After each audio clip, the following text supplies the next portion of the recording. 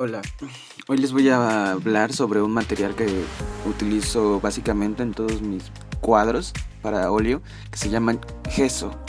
Este material es, su, es blanquecino y por lo general está compuesto de yeso, látex y otros pigmentos que se utilizan para imprimar eh, alguna superficie.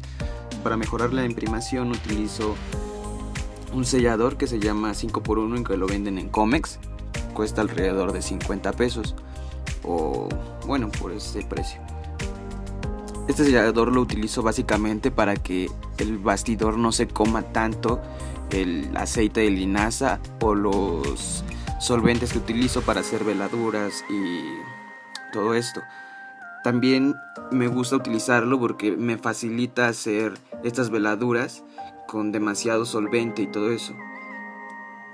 Te recomiendo que lo utilices si piensas que el bastidor que vas a utilizar, la tela, la madera o cualquier otro soporte, quieres que quede súper liso para generar así con el óleo unas texturas o cosas así.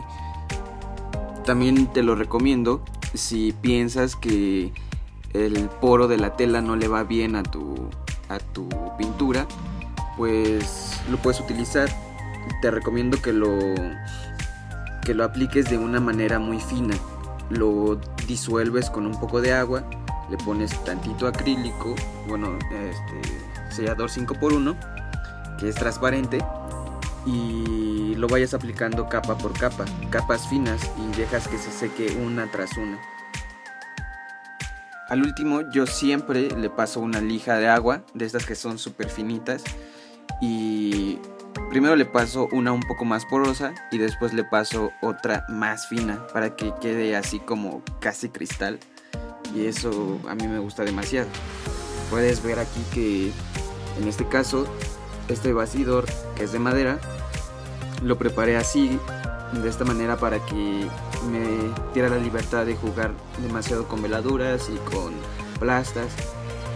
Bueno, pues esta es la veladura con gesso y bueno, espero les sirva y los anime a utilizar un poco de gesso para que vean los resultados que da. Este, bueno, este es, ha sido el video, espero les haya servido y nos vemos en los próximos videos. Denle un like, un compartir y gracias por verlo. Adiós.